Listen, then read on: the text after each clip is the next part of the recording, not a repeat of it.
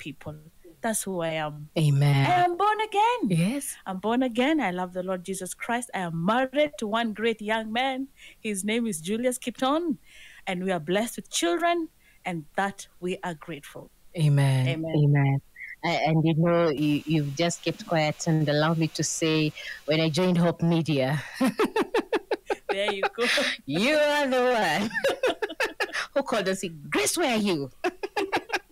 Is here. Utaki kazi? I'll, I'll. I'll never forget that day. I'll I never remember forget Grace. And you know what? I remember very well. You were in Eldoret. I don't want to mention the station where you were working. Mm. I had a very good report of you. Thank you. I met your CV, your credentials before you. And anybody listening out there, when we talk about people, what goes before you as a person? Mm. What is this that you have done? Grace, I met you before I met you. Mm. And uh, a, a big appreciation to Kingston Ogango. Kingston and I decided this Grace, we are hunting her. and look at how many years down the road now? Oh my God, could be 12 now? 12 years down the road? Yes. Now you're sitting on the other side. Yes. God has been gracious. Amen. Amen. Thank you. the importance of people and, and they celebrate you, uh, Edna, great woman of God, a lover of God, if I put that way. Thank you so much. Amen. And it's a joy to have you today as we talk matters leaders. Uh, excellent topic leadership in a dynamic world, measuring on people value preposition. So, when you talk about people value preposition, what's that? Two things. First of all, let's begin with what you have said very well the issue of dynamic world. The world has changed. Let's begin, first of all, by acknowledging that we have a mix of generation at the place of work. Yes. That's a dynamic. We never used to have that a few years ago. When I started working, the boss was the boss. Yes. But right now, things have changed. That's the mm. dynamics. Yeah. So, how do you, as a leader, prepare yourself? How do we align ourselves for that change? And that's the reason we want to talk about the value proposition through people. What exactly is that? Mm. That means that every leader, every organization must understand the power of the people, Yes. the value the people are bringing, the skills, the talent, the knowledge, the dynamics. In today's world, a few years ago, we never used to talk loudly about inclusivity. Mm. It was never there. But today, can we run away from that topic? No. But then, how do we do it in a context that honors God and still do the right thing? So, people value proposition is a way that we're able to define our statement as an organization. You're able to define your culture. You're able to define your way of working. That's what we mean by people value proposition. What makes the employees of this organization a competitive edge? People don't come back to see buildings, they come back because of the person. And that's the people. Yes. And that's what I do to understand people and to drive growth through people. Mm. Yes. You, you, you know, when I mentioned I'm having you today, a few people who are here when you were around said, Oh, Edna touched me this way. Edna impacted me this way. And just being able to mention that you eat, you sleep, you wake up people, that makes sense. That's your cup of tea. And on the other side, I was just thinking, you know, a few months ago, having Gen Z almost turned this nation upside down. And that's the crop of uh, staff that we have in our companies today. Yes. I know every leader is wondering, how can I handle them well? Yes.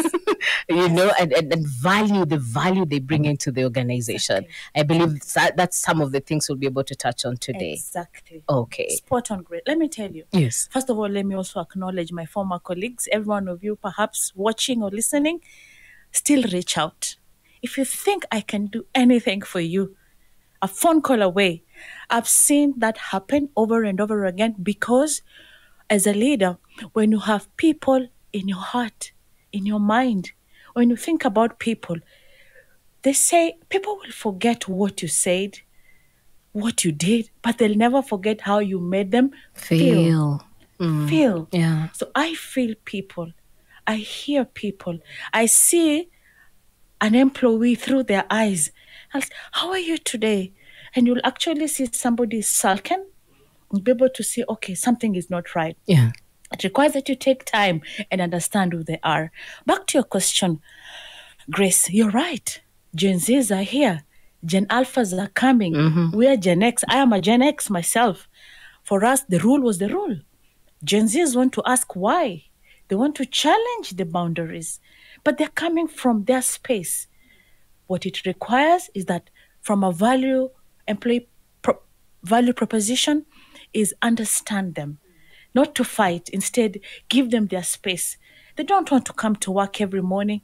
They're not a routine persons. They want to wake up at eight, be in the office, maybe whatever. No, but give them the task.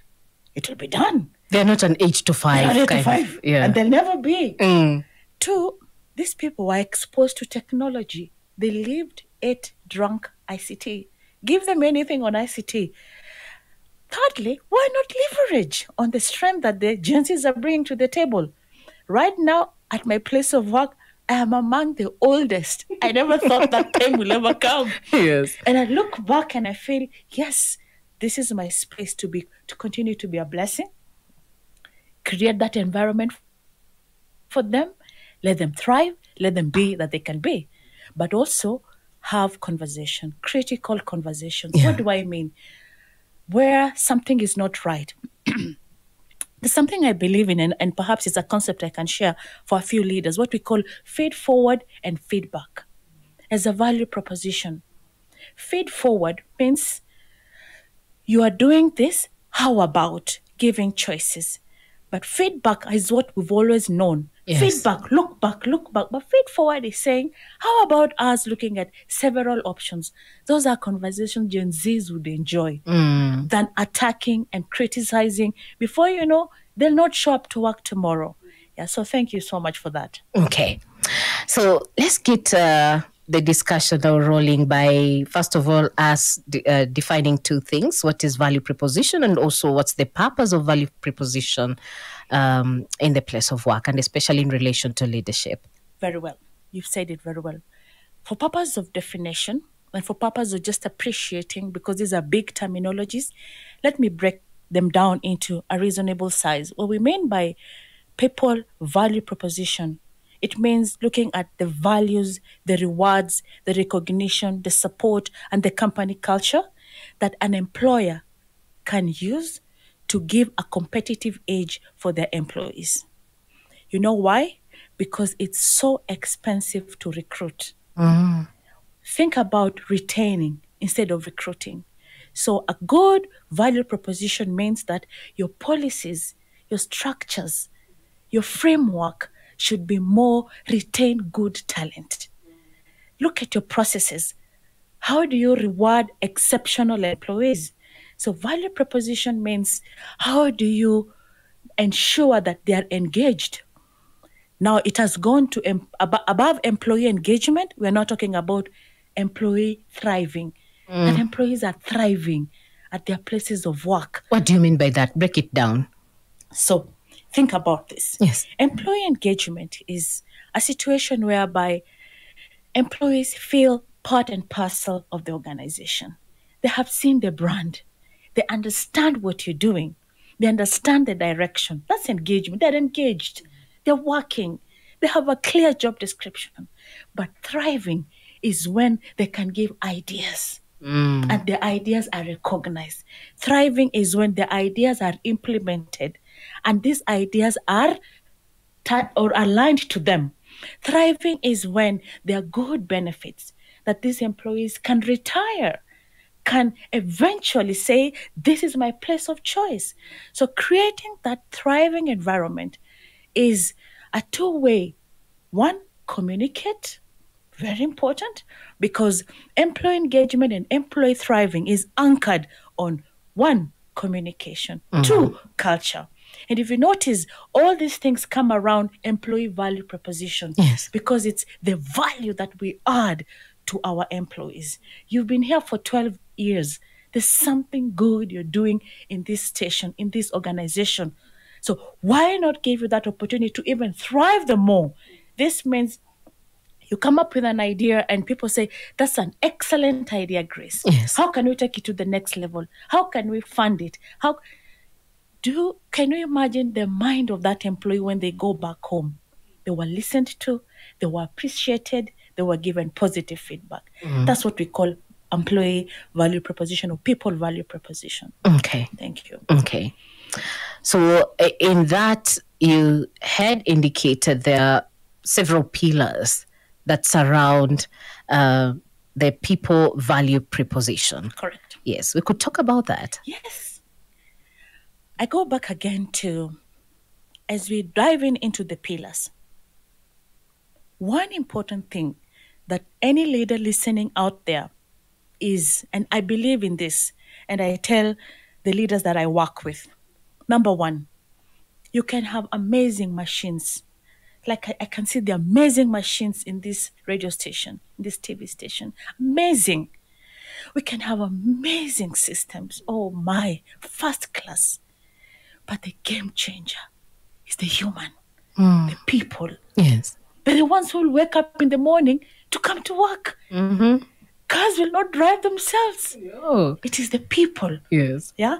So question here is when we have that at the back of our minds, then now we can talk about the pillars of employee value proposition or people value proposition. Number one, what is your compensation philosophy? Do you want to lead in the market in terms of good salaries, benefits, compensation package for your employees? Do you want to be in the middle? Do you want to be at the, at the beginning? And each organization will vary because each organization is at different level. Yes. Pillar number one is compensation, which means can we develop good, attractive benefits that these employees will work with no fear at the back of their minds? Should I fall sick right now? My babies are taken care of, my family is taken care of. Employee value proposition, Yes. it retains them. Number two is career development. They want to grow. You want to be sure that I will grow in my career. I will expand in my career. What are the tenets that advises my career growth? I want to imagine perhaps you want even to run a radio station very soon or later. Question is, am I developing you? Am I creating that right environment? Can I think outside the box? There's a tool I use, which is also good to share, and many other models. I believe even people can share more models, what we call 70 20 10 models for career development, where 70% is training happening at the place of work, 20% is mentorship, and 10% is where we now go for seminars and workshop. All of it is models that leaders can use Yes. to put a remarkable system in the organization. The third one, okay, Why go ahead. in that? um, you've talked about compensation and career development. Correct. And you've mentioned um, the example you've given on the on the model 70 20 10. You know, training, mentorship, and uh, seminars and workshops and all that. Yes. So, what happens in a scenario where a leader believes, why should I train Edna? At the end of the day, she will leave the group, and I need again to start training another crop, you know, of, of of of team. What what are your wisdom? What's your wisdom around that? So flip it the other way around. Don't train Edna, and Edna is supposed to run these first class machines. What will happen to your machines that you have invested? You only need one mistake, and a million dollar machine comes down because you've not trained Edna. Yes. You've not trained Grace. If anything, train them the more. And should they even go out, they'll still come back. And should they even go out, they'll build value to wherever they will go. It is 10 times greater impact when you have trained your workforce. Continuous training. And if you look at this model, Grace, this model encourages you. There's a lot of training that can happen at the place of work Yes. think about that you can get let's say for example we can sponsor grace or sponsor anybody to get a certain training a certain skill a certain competency what stops us from getting this person to come and train the rest of the team what do you mm. require a certificate or the knowledge in the head The knowledge in the In head the is head, critical. critical Yes. because that's where the crux of the matter is so train even if they go i would rather that i have a trained workforce it's a big game changer uh, work becomes easy work becomes lighter, work, work becomes accelerated, you leverage on technology. There's so many ways that people can use to still train, perhaps even without even leaving the comfort of your desk. Yes. And still people can get the knowledge. Why not use that? Yes. Yes. Okay. And on compensation, because that's critical for any workplace. I can imagine. that's why it's number one. and I love what you've said. Um, do, do we, as a leader, do I want my organization to be, you know, the number one? We benchmark Yes. with my organization, or I want to be in the middle, Yes. or I, I, I want to be coming, you know. Yes. Um, a, a thought that a leader struggles with is maybe I'm a middle organization in terms of compensation, but I have a team that wants to be the organization that the entire industry benchmarks with. What would be your wisdom to this leader? There- there's a it's, it's like a chicken and egg. Yes. What comes first? Mm. what comes first depending on and to and let me just digress a little bit in today's world grace we're talking about sustainability Yes. it's a big ticket item True. everybody's talking about sustainability how can we sustain ourselves for me to answer your question yes we should be able to pay at the lead in the labor market but the question is is it sustainable can you sustain? Would you not rather grow with the organization? But remember, I talked about in people value proposition, I talked about communication. Yes. It is so important that employees understand the dynamics and what is happening in the organization. The moment you're hiding and you're not being truthful about what is happening, em- you saw agencies, they took pictures of, they even did work for the CID. You want this guy, we'll give you his number. Yes. Information can be caught or gotten anywhere. Yes. The question here is be transparent mm-hmm. to your employees. Where they have done well, for heaven's sake, pay recognize, reward, number one. Number two, have a well elaborate compensation system that is fair. What employees would want to see is that your processes are fair, that there's no discrimination, that there's no favoritism, that there's no all this nepotism, all the tism, tism, tism, tism that is negative Yes. that the fact that it is open, it's transparent, it's clear, it's competitive, you will be in the game. So again, remember is that you have must have very good structures because compensation is sensitive. It can bring down an organization. Let me eh, let me say this to any leader listening out there. There is an average staff cost that is allowable within an organization. So you work with that at the back of your mind. What is the allowable percentage in terms of staff costs that you need to so that then again you don't excite your staff you have overpaid high salaries shortly before you know you're closing down so where's the place of sustainability and a responsive organization that can be there for as long as it's supposed to be there as an ongoing concern Yes. thank you grace Okay. So you can move to the other pillar. yes yes yes yes five Yes. pillars it is uh, in terms of employee value proposition. The important one now, and everybody's going to that space, is what we call work life balance. Others are saying work life integration. So there are two terminologies Yes. work life balance and work life integration. Now, you'll realize that um, technology has disrupted our lives. We wake up in the morning. I want to believe we still do our routines, but you can almost respond to your email while just preparing to come to work. That's work life integration. It's Yes. happening Yes. Work life balance is also very important in such a way that because of mental issues, because of the issues that are affecting everybody now, that we're able to separate. There's time for you to reflect, to recharge, to reconnect. And it is important for every leader to create that environment, to create that opportunity where your team, your staff, your organization can recharge, can realign. But again, depending on your position and the role that you do in the organization, you may want to make sure that there is an integration because perhaps your decision that you need to make requires to move a project or an action.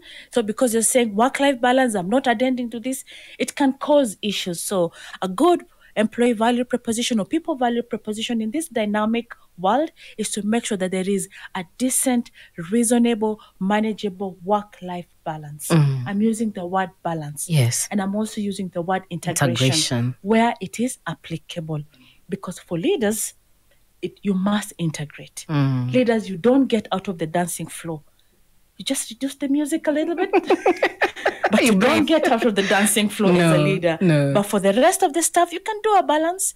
Switch off a little bit because there are people who can keep the work doing. Because again, remember the foot soldiers are the ones who carry the organization. Yeah, my submission. Okay. Now, uh, this is so important to me when you talk about culture. They say culture is what for breakfast? Strategy. Strategy. Yes. When you have a rotten culture, we are sunk. But if we have an open door culture, if you have a respectful culture, if you have a culture that every idea is respected, a culture of reward, employees will say, I want to go and work in this organization. I believe if we could even mention, but we may not be able to mention yet, the top 10 organizations in this country. Why? Why would everybody want to say, I want to work in this organization? Because of their culture Yes. because of flexibility, because of adaptability, because of sustainability, because of that right environment where it's no longer the old egg system. It's no longer the old ways of doing things. Organizations that are quickly. I was using this example one day. I come from a community. Part of me uh, is um, Mount Kenya, and part of me is Rift Valley. So the Rift Valley side of me taught us how to make mursik. Mm. So mursik, you get a gourd, a nice beautiful gourd. You boil your milk. You let it come down a little bit until it's warm.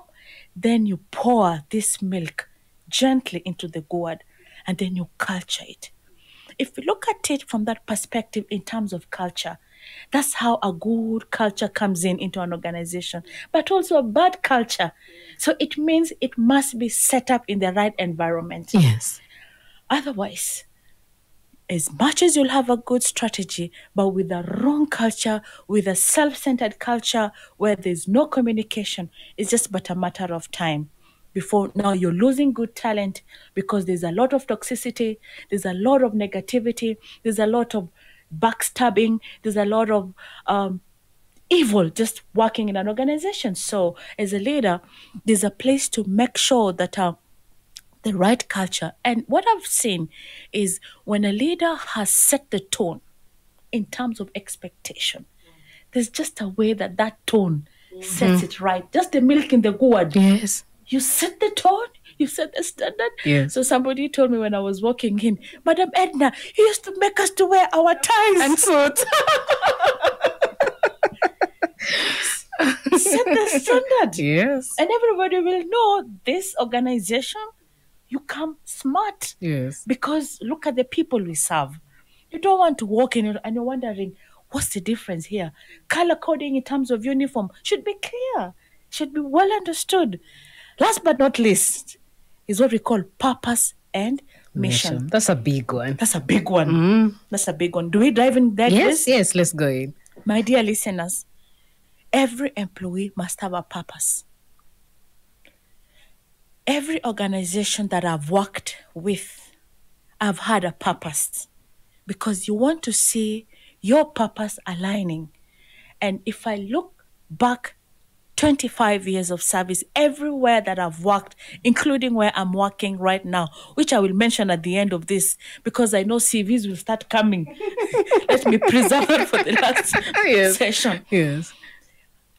Because of purpose and clarity, people remember that you touched me. Because my purpose as a person, as a leader, is to transform everybody that I encounter. Even at the worst moment, I still want to leave a good impression about this person for them to realize, you know what, I'm still good.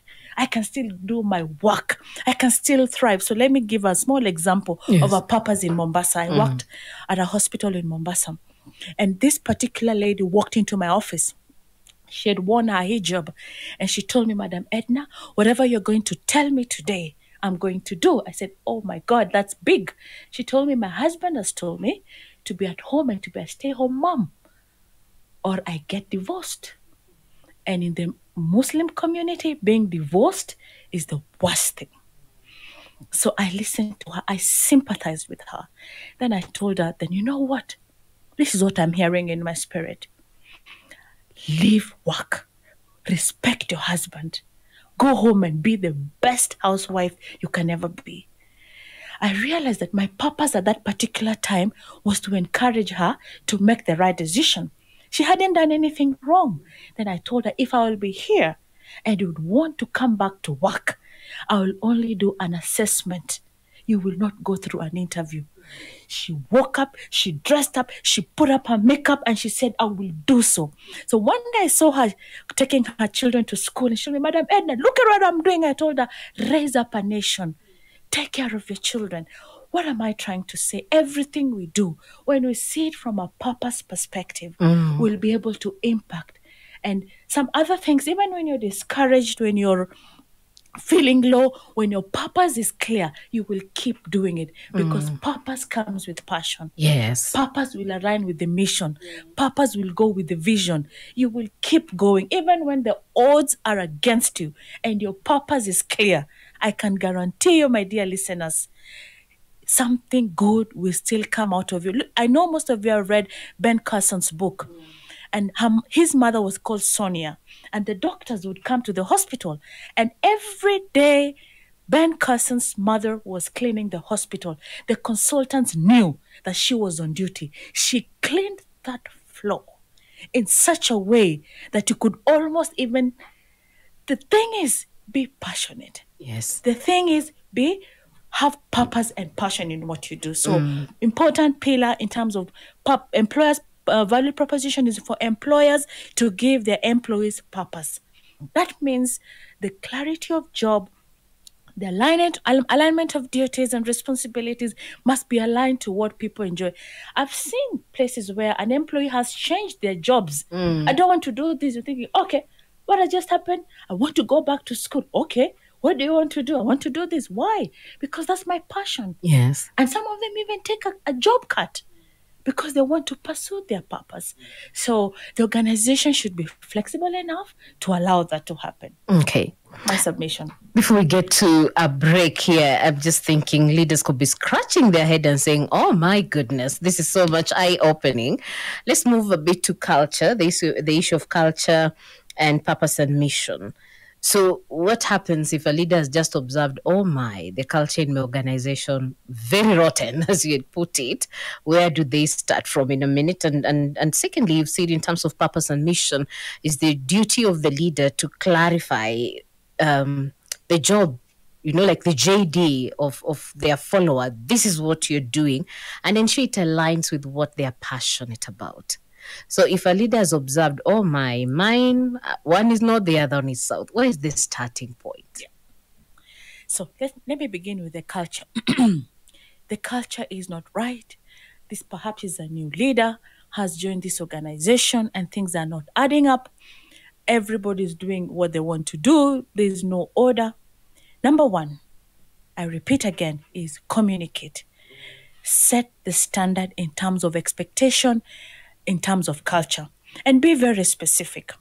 Be very specific. Some organizations I know they've undertaken culture audit. The culture audit, specific questions that you want to pick, and you can score, you can rate it. You can pick, pick for example, you know why I'm saying this? Because it's, ex- it's exactly what I'm doing. Yes. Right now, we we are running a culture audit at my place of work. And we have specific questions that we've been doing for years to make sure that we are tracking our culture. Mm. You cannot assume that it will happen. So there are tools that can be used. And anybody who can come to Catalid and Catalid can be able to provide that support, then they can be able to have somebody, a consultant to work with them. So there are tools, Grace, to measure culture. Yes. But some even, by the time you're doing a tool, why not just observe as a leader? Just observe the etiquette in meetings, etiquette on emails, dress etiquette. That tells you a lot about culture. Timekeeping is a, is a culture. You know, how people respond emails with question mark and bolds. that tells you it's a culture. How people respond to their supervisors. That's a culture. So sometimes before you even do the big things, mm. start with the basic. Yes. Remember the gourd? Yes. Clean the gourd. Yes, yes. Before you pour the milk, Yes. clean the gourd. Now, to your second question, which is very important. This employee's job is facing north, the expectation is south. Yes. Do you have performance conversations? Is the job description clear? By the time you're recruiting this employee, was this employee fit for this particular role? So that's those are things that should happen way before. But along the way, people change and they say, you know what? Hmm, I could do something else. Now we do talent mapping. Yes. We work with them. We work through transitions. We identify, remember the 70 20 10 training Yes, models? yes. So we work with them and say, okay, you know, in this first year, you can do this, you can take this course, but I will not change your job now because I employed you to do this. Yes. So we can walk the journey together. I don't believe in no. I believe in quality no. Mm. Give a smart no. Yes. Give a, a, a, a- a no that makes sense than just no, it cannot happen. It can happen. Penye nia, Ananji. pana. Okay. Thank you. Thank you. Oh, hmm, great insights today on the Leadership Forum. I'm hosting Edna Kiunga Kiptoon. And you know what? She's an HR practitioner and our guest today on the Leadership Forum. Do you have any question or comment? Talk to us on 0717 400 555 and 20933 at Hope FM Live. Those are social media platforms. Allow us to get to the news at noon with Melissa Oloko Duer. After that, we'll be back. I want to leave you with the last thing that Edna said. Give a quality no. Mm, scratch your head as a leader. How many no's have you given and their quality? We'll be right back. Hope FM. Listen and live.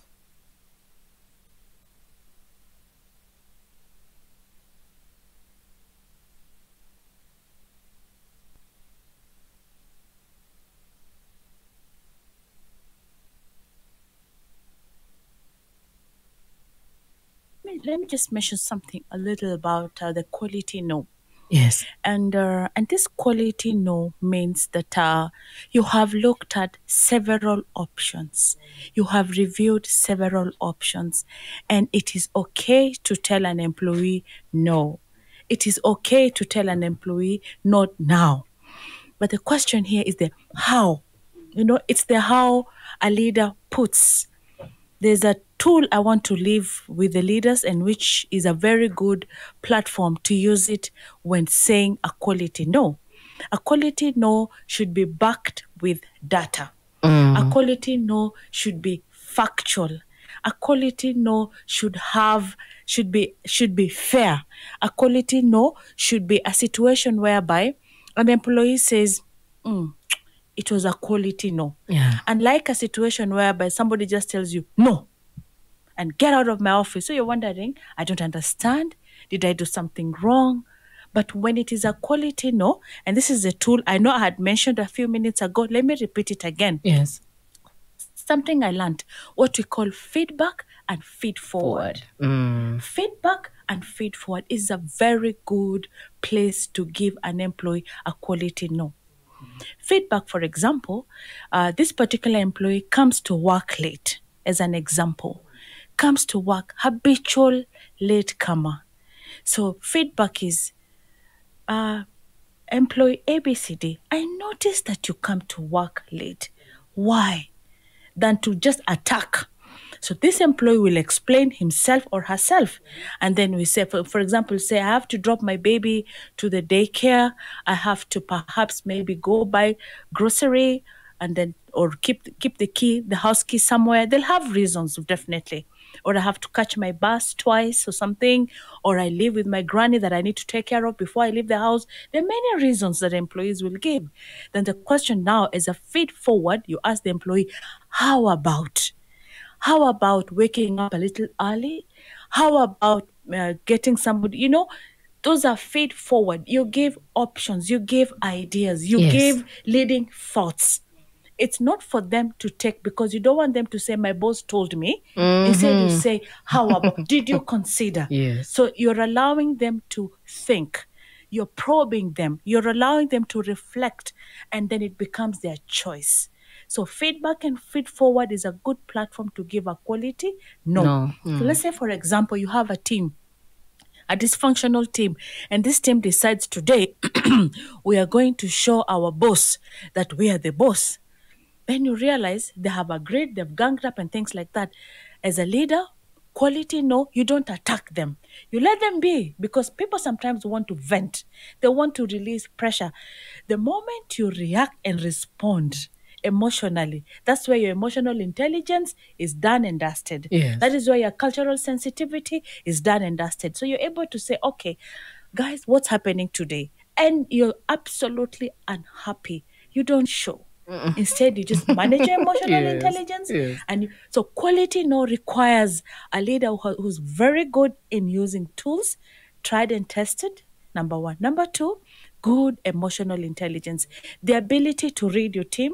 The, because it's said today, leaders with highest EQ are the ones who are going to thrive. Yes. So, you leader out there, work on your EQ, emotional intelligence. You'll be able to manage your team and be able to understand them better. So, we can drive in into understanding strategies that are crucial for an organization to thrive when we talk about employee value proposition. One is when we talk about vision and mission clarity. We've talked about this Yes. eating, drinking, sleeping, the mission and the vision. Why? When we communicate the vision and the core values, and I, I'm sure, Grace, you can remember even when I was here, we made sure that the vision to know God and to make Him known through evangelism. I mean, how many years down the road, I still remember Mm. Kenya and the rest of the world in part with the gospel of our Lord Jesus Christ through the transforming power of the Holy Spirit. I don't know if it has changed, but that is what we adopted as a vision and a mission. So it should be part and parcel because employee value proposition, it is the employees who will implement Yes. that vision. So make it every day. If it can be an opening conversation, if for example as a leader you have a certain culture that you want to set make sure you set it you communicate it. So the clarity of vision and mission is very important. That means then you align the goals you align the strategies you align the objectives you make it very clear to the team. They'll be able to see this is where we're coming from and this is where we're going to. Let me say something. Opposition will be there. Let me pause there. Yes. oh, I call them the Sanballat and Tobias. Mm, and every leader feels like just chasing them away. Just go home. Think about your life. That's the feeling every leader has. Yes. Yes. Because you want to keep the good ones. Mm. Let me give you good news. They're here to stay. Yes. Even the even those ones will oppose your vision as a leader. What I've discovered, leverage on that. And let that be a reflection. Let it be a mirror to ask yourself, what are they not seeing? Is it me who has not made it clear? Or is it me who need to communicate again? Or is it me who needs to bring them closer? Or I need to give them leadership responsibility? There's just wisdom that goes around when you have to manage that kind of negativity at the place of work. The question here is we don't stop moving. Yes. We don't stop moving. We don't stop driving the agenda. We don't stop driving the vision, the mission, the direction of the board members. If the board members have given you a specific assignment, you have to break it down. You have to make it clear. Can we go to the second one? Yes. When you talk about empowerment and delegation, very, very important people value proposition when you delegate as a leader when you empower as a leader one you're free to strategize you're free to refocus see as, a, as when you're holding a camera and it's not clear nothing stops you from adjusting that camera to see it clearer. And th- through the power of delegation and empowerment people are able to first and foremost when you delegate employees feel like my boss has trusted me Yes. to with this responsibility. Mm-hmm. One steve covey talked about the speed of trust. Very important. When they know that they can be trusted is a game changer so important strategy for leaders to build employee value proposition is good uh, framework on empowerment and delegation. What does that do? It creates autonomy. Employees are able to take ownership. They know that i belong to this organization i belong to this company i belong to this great and they can they can carry the flag of the brand. They can wear the logo and say, I am CITAM. Yes. I am this organization. I am this because they've owned up. Just look at by simple empowerment and delegation. Simple empowerment by delegation. What happens again? We decentralize what we call decision making. So, decision making is no longer left at the hands of the leader Yes. that decentralization doesn't mean that there's no accountability. Let, let's be very clear. It doesn't mean that then, in case something goes wrong, I blame my teams. No. I have delegated this work to Grace. I've delegated this work to my teams. I've given them good instructions. I know they can get the job done. But if something goes wrong, I take full responsibility as, a leader. Yes. That's the hallmark of leadership. Mm. I should be able to use that as a as a case study, what we call root cause analysis. Yes. What really caused this? Mm. So when we delegate decision matrix, we know the risk that goes with it, but we make sure that the policies are clear, the matrix are well understood, the framework is well understood, and the confidence by the employee or the leader that you've delegated to is very clear. You will need to go and leave grace. Yes. And you need to hand over the work to somebody else. Very true. So they should not feel like when grace is here, things go. In fact, when things go wrong because you're not there, then there's a problem. Mm. There's a big problem. So, True. Employee or people value proposition is when we have very good delegation matrix, very good delegation support framework that supports the employee. Now, important again for leaders just to take out there is um, talent management and development. The dynamics in today's world, and Grace, you did ask, why not invest in training? Or why invest in training and they leave?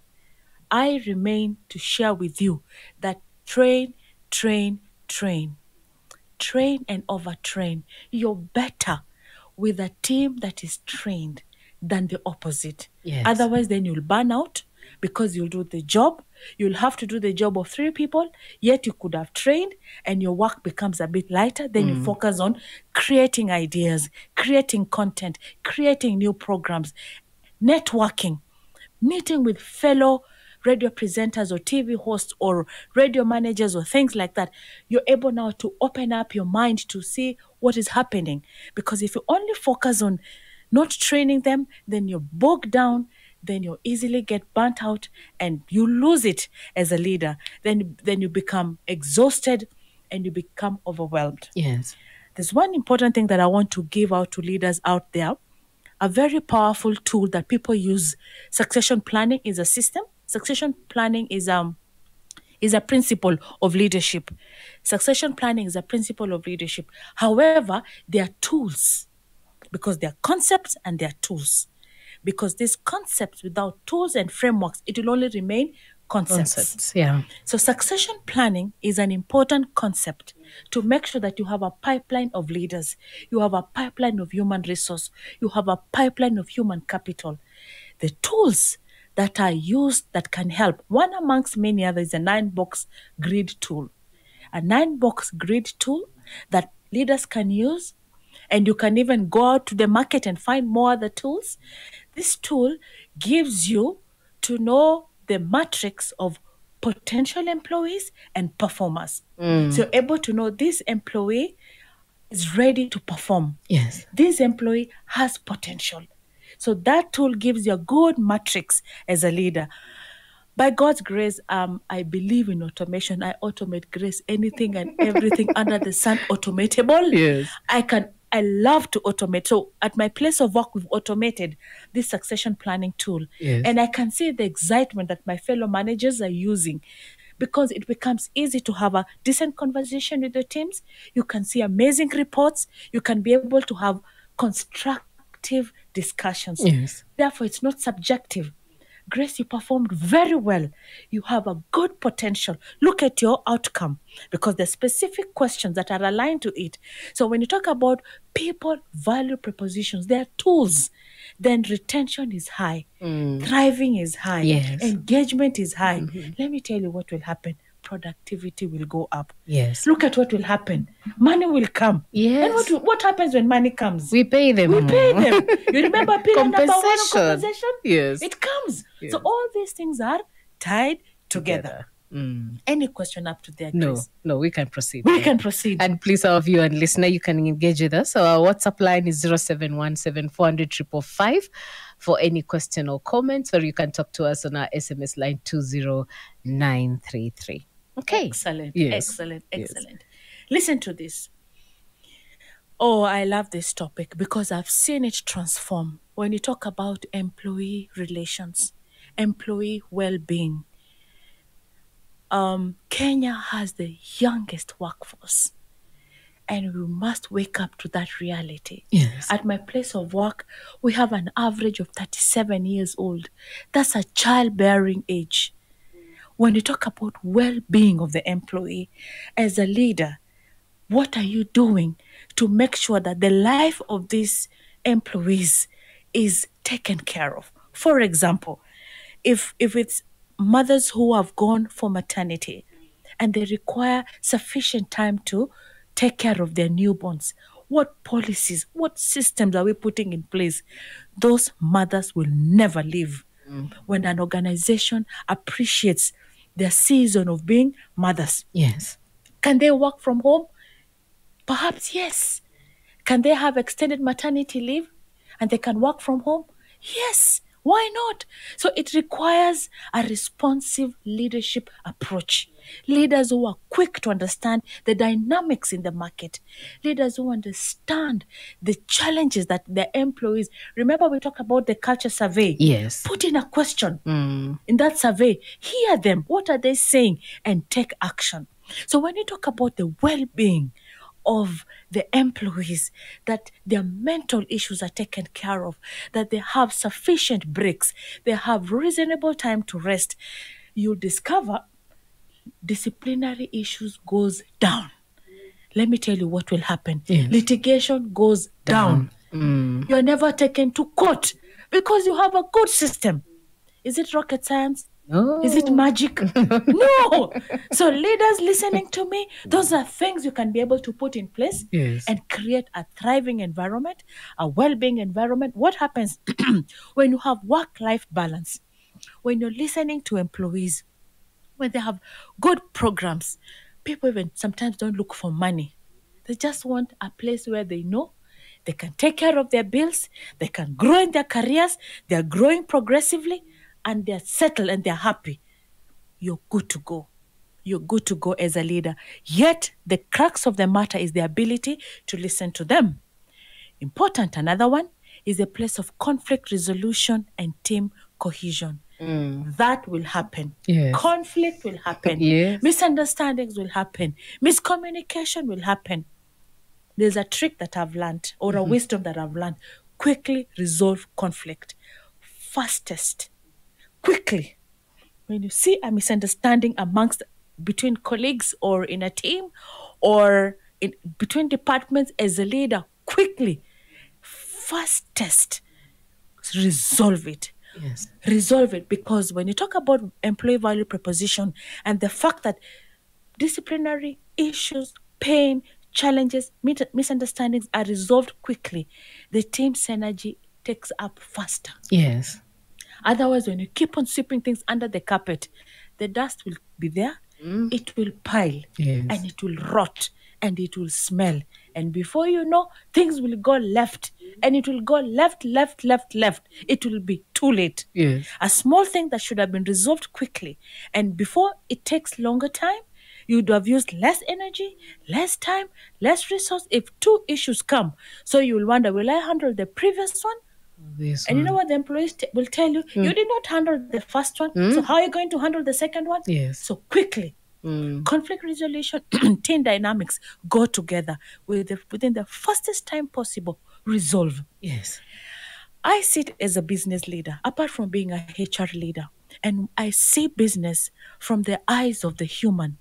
And when I see that the human is ready to engage, listen, resolve, provide. Do you know a simple thing like a tap in the shoulder? Well done. Oh, that's super magic. They wake up with wings. They are charged because they know, oh, my boss noticed me. Aye, I'm ready to. So those are the things we're talking about. Team dynamics, quickly resolving issues and turning around. Importantly, again, people who are taking notes, what we call about strategic performance management systems.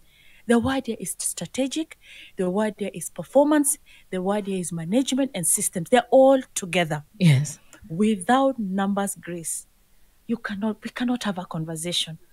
Numbers speak the story. Yes. I was telling one of my team members, I hope she'll listen one day, that even as HRs, you must have numbers. You, mm. can, you can come and tell us stories, but your numbers will tell your story, not the other way around. How many listeners are listening? How many people tuned in? How many questions came up? What is my uptake? If I'm selling a product, numbers, even the Bible talks about numbers. There's a book about numbers Yes. we must be able to have a strategic system that measures our numbers and you're able to monitor. What do I mean?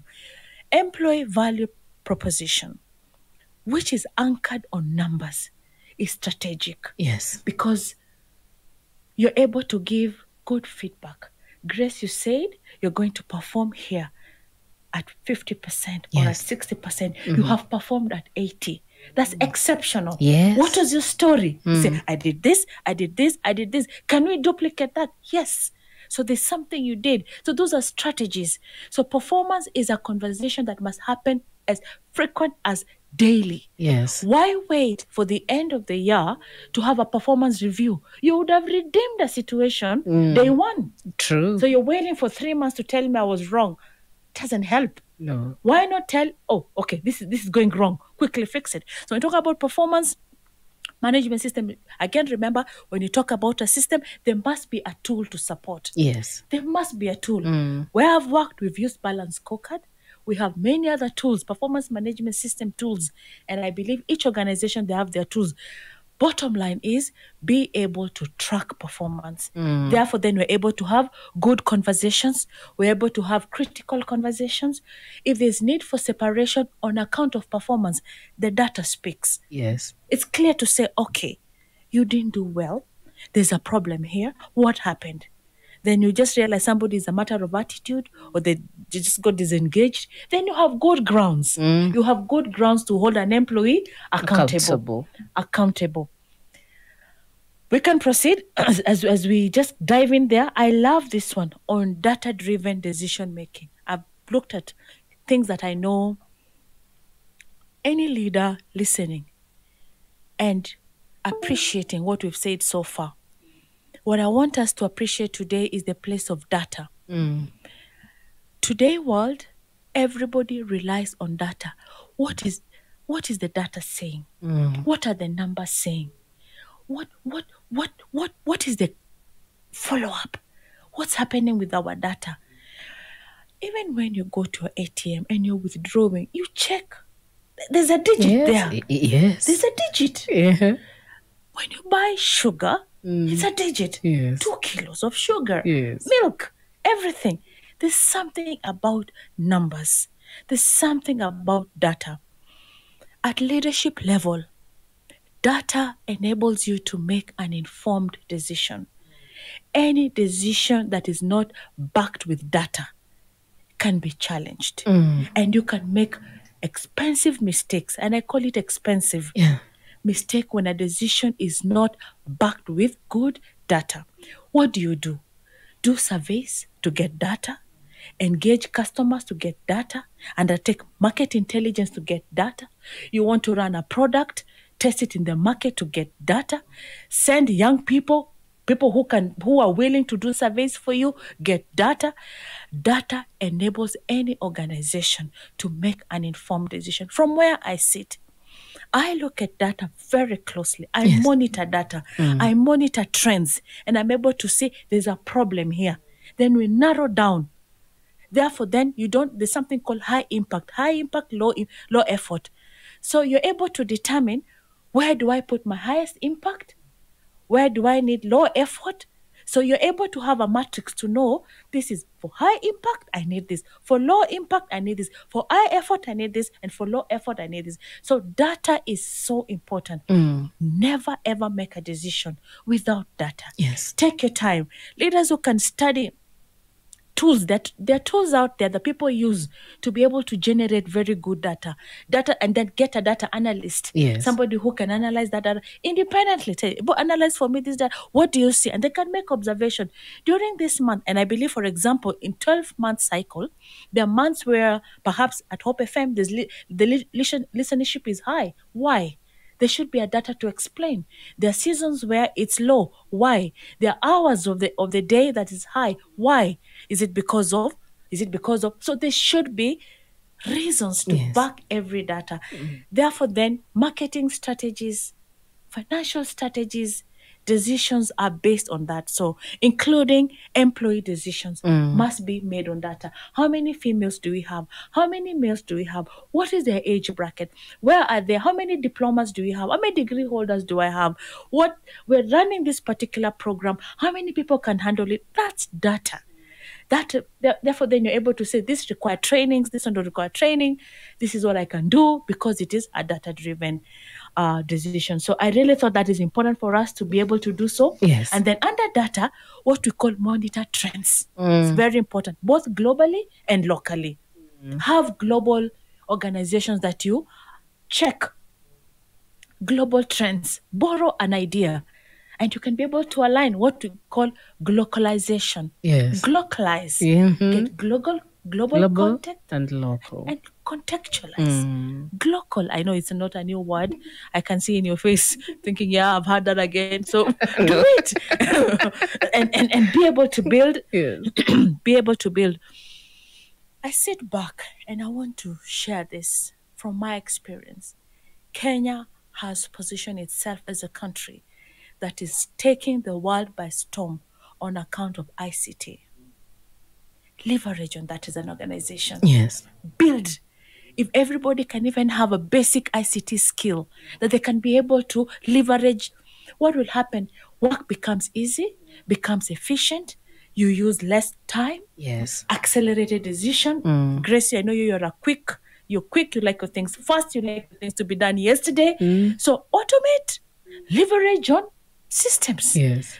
you wake up in the morning the systems have done for you why not and why not develop local systems employee value proposition. Yes. employees were able to develop local system local solutions. You're able to customize. You're able to align. You're able to say change this align this do it for your organizations. Thank you grace. Okay. Wow. A lot of wisdom right there from Edna on the Leadership Forum today. And we are talking about people value preposition. I hope you're learning a lot. Allow us at this point just to pause and sample some of the questions that have come through on Question of the Day. Question question of the day on the Leadership Forum. Okay. Uh, this one, Reverend Victor Chang- Changusia from Vihiga says he's learning a lot. Sometimes, as leaders, we respond to the people we lead emotionally. Kumbe, that's where we go wrong. Halafu, the way we say no as leaders, wow, mimi sisemi kitu. Reverend is not saying anything. and I'm sure this also applies in a church Yes. setup. yes You know, when we think leadership, most of us thinks marketplace. yes But in a church setup, yes yeah. It applies Also, the pastor needs to learn how to say no. Yes. Pastor, I've worked in the church and I know what goes on in the church. It's okay to say no and do it respectfully. Do it um, do it with knowledge, do it with facts. I talked about data. Explain the no in terms of look, we are not able to do this now because of A, B, C, D. People will understand. Thank you, Okay. Another one here. Uh, Catherine from CITAM Mombasa says, Hello, Mamedna. Got to recognize this unique voice. Leadership, especially steering the Gen X generation, is very involving. I'm learning a lot. Thank you so much. And he's asking at times, we delegate and the team becomes comfortable, and one has to keep talking and talking and talking, even mourning. How can a leader handle that? You've delegated, but again, you have to keep on talking and talking and reminding this person. Okay. Now, this is it. Thank you so much. Thank you so much for listening from CITAM Mombasa. That's my home church. I agree. that uh, training is not easy. Yet, the moment they will get, then you will be home and dry. Don't tire. Keep on talking. However, perhaps we, we may be able to narrow down to the very specific things you want them to do and measure. So, for example, we can agree, uh, Grace, we've agreed today we need to make 200 phone calls to these particular customers for them to know our products. So it's specific, it's smart, smarter actually, specific, measurable, realistic, time frame, ethical, and teamwork. Smarter, they understand. Then you come and say, Grace, and this can be done within two hours. Okay? Are we clear? Yes. Tell me what you're hearing. So let this employee tell you back. What are you hearing? Madam Grace, you have told me to do 200 calls within two hours to share this particular product. Okay. Do you have your phone ready? Yes. Is it loaded with airtime? Yes. Clear. So you've come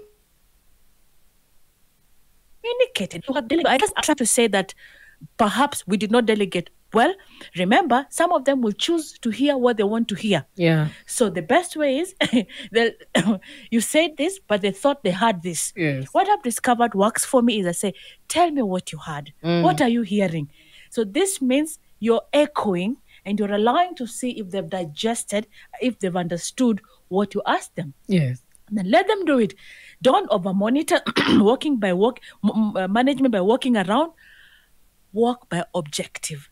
Support them by ensuring that they, they've understood and they're able to deliver their work. Thank you, Grace. Okay. I, uh, one more says, Shiru from Thika Road says, uh, Hello, Grace and Edna. Informative conversation. Please come again on the 70 20 10 model, as in what each percentage stands for. Perfect. Thank you, Shiro. 70 20 10 model. And let me say that is not the only training model. There are many others. But because that's what I was, I felt comfortable to share and easy. So 70 plus 20 plus 10 equals A hundred. 100. 70% is on the job training. As a leader, create team leaders, build your team leaders, let them be the what we call TOTs, Yes. training of trainers. Mm. Let them train the teams below you. As a leader, then you don't need to be the one to train. You have delegated that. But make sure the crux of the matter is at 70% that the training is clear, the objectives are clear, the training outcomes are clear, the behaviors are measurable. You're able to see that this training, there is a change. Okay? Number one, that's so 70% is on the job trainings. So identify a specific concept and then train. 20% is mentorship, coaching, and mentorship. Mentorship. Grace, I know you're a, you're a certified coach. Yes, I am. You know the power of coaching. Yes. You work with the strength of the coachee. Mm. You understand where they're coming from. You you work with their talent. You work with their strength. So 70% training happening on the job. Now we add coaching you spend least amount of money but there's a lot of training that is happening a lot of impact happening a lot of change happening through that coaching so coaching again I believe in automation. We've automated our coaching at my place of, and I will share my place of work. And that's a next amazing place of work. All of you should come and work. We've automated our coaching platform. So coaches are meeting with their coaches and they're having conversations and they're engaging. Now, 10% is seminars and workshops. There's a place for that because I want this leader to see what is happening out there. They're able to explore, they're able to attend professional qualifications. If there's a certification they need to go to, for lawyers, for example, for you, radio presenters and, or media personalities, their trainings, their associations that you need to attend, their CPD points, continuous professional development points that you need to acquire. So that is a 10%. So that's just a basic tool that we use. But if you look at that tool, it covers a 360 degree approach towards training. So develop your own tools, but make sure there's a word I want to give Shiro impact. There must be Impact. Mm. That's how you measure. What is the impact? What is the outcome? Are people responding to emails better? Are we coming to work on time? Do we close up on our on our action? Do we have to be followed again and again and again? Can I put extra hours just to meet up my target? Because now there's impact in from that particular models of training. Thank you. Okay, thank you. Uh, JK just says, Edna is definitely my dream HRO. Oh my, hiya. Thank you so much. so, apart from uh, great teachings, this and says, apart from measuring on leadership on employer employee leadership, how can the same leadership be applied to one family setup in search for staying together and community leadership in campaigning for community development? Wow. Wow. Mm. That's that's that's loaded. Yes. family setup and community development. Some of these things are transferable. They're absolutely transferable. What do I mean by that? For example, if it is a, within a family setup, there should be order in the family. Okay, I'm a I'm a family person myself. I've been married. Um, I, I I really believe in family. I believe in the structure of family. I believe in the order of family. So one principle we know very well in family is communication. Yes. And it's still applicable. Yeah, it's still applicable. Engagement is still applicable. Training. What are, what are the family ethos? What happens? Do you do your family devotion? What character, what behavior, what traits define that particular family? And you notice the same applies even in the community. Now, if they're community leaders, these are things you're able to transpose, you're able to apply, you're able to uh, use within your community setup. Nothing stops you. Community engagement, stakeholder engagement. I, I attended a class, sorry about that, and this lecturer showed us the power of community and stakeholder engagement. So they went and set up a toilet. They never involved the village chief. and they Oh got my. a whole delegation hmm. from Nairobi to open this toilet. Where were? But the hmm. chief was not involved. The chief was not aware. So immediately after they left, the chief got a big padlock and locked the toilet and said, This toilet is for visitors. When they will come back again to our village, they will use. Statistics showed that diarrhea still was up, cholera was still up. Yes. They wondered what happened. And we had built a Toilet. toilet. Toilets actually mm. for males and for females. yeah. Because the stakeholder was not involved. The toilet was not used. What am I trying to say? These are things that are applicable. Inclusion, Yeah. yeah, engaging, yeah, communicating, making the vision very clear, making the mission very clear. Those are things, my brother, you're able to use it within any context. And remember, if you remember even the word people, even corporate value proposition, it still applies because you're here to grow a business. Thank you. Okay.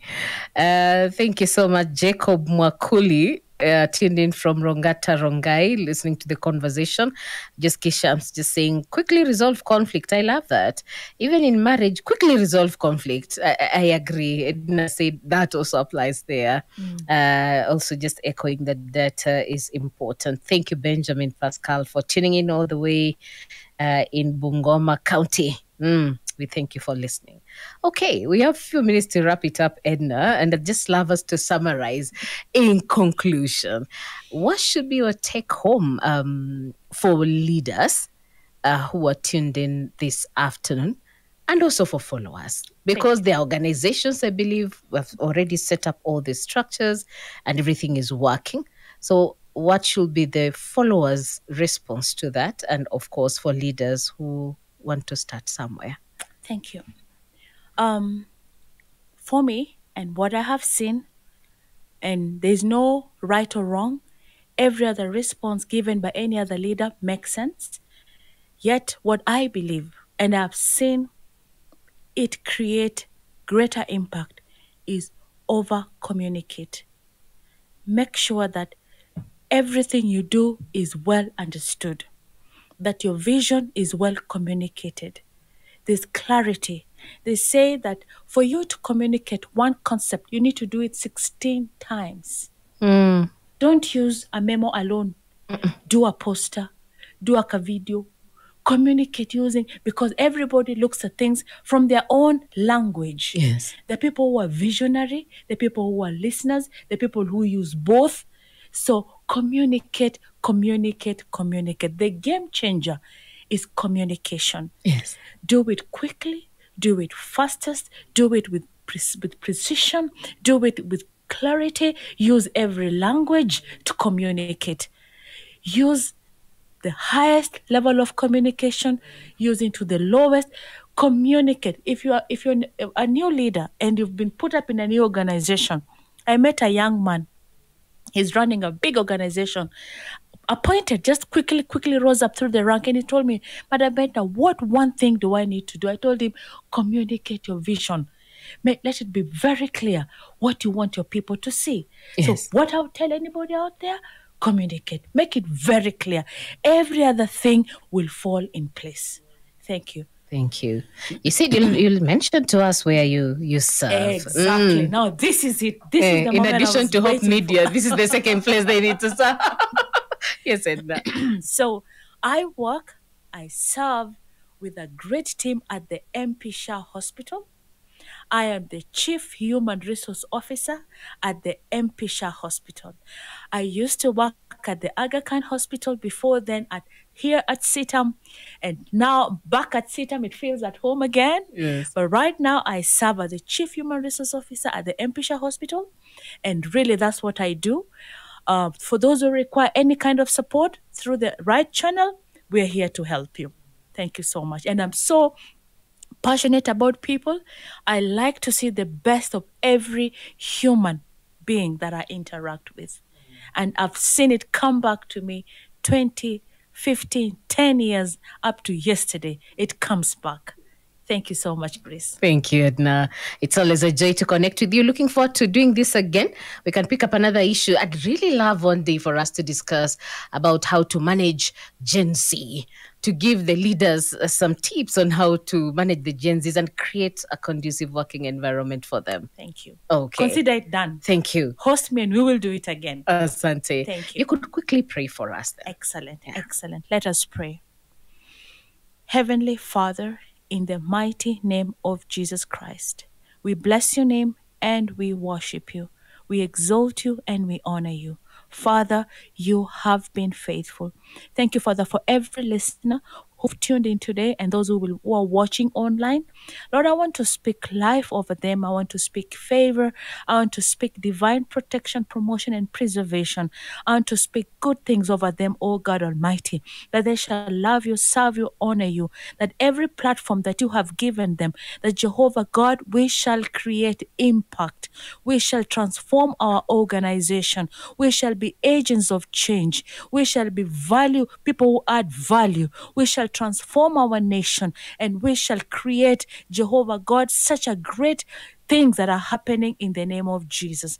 Thank you, Holy Spirit of God.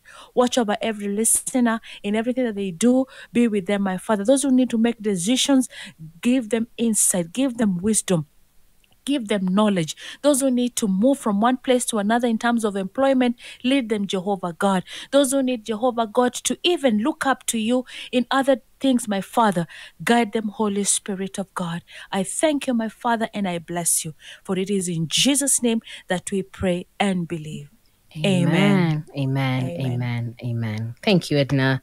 And God bless you. Thank you very much. Okay, that's all we had on the Leadership Forum today as we discussed matters, leaders, and followers. Our topic for today was People Value Preposition, a very special edition of the Leadership Forum. I hope that you have learned something and you're going to apply in your sphere of influence. My name is Grace Mutiso. Remember to catch a repeat of this program this Saturday, right here at Hope FM from 7 a.m. to 8 a.m anytime at the Hope FM podcast on our website, www.hopemediakenya.org. And you can also uh, do that at Hope FM Live at Hope TV Kenya on our Facebook and YouTube page. Have a beautiful afternoon. Stand by for the news at one with Melissa, and thereafter you'll get uh, not Mancaris. What is his name? That young man, David King. Yes, his name was disappearing from my head, but it's David King joining you for the afternoon switch. Shalom and God bless you. We'll see you next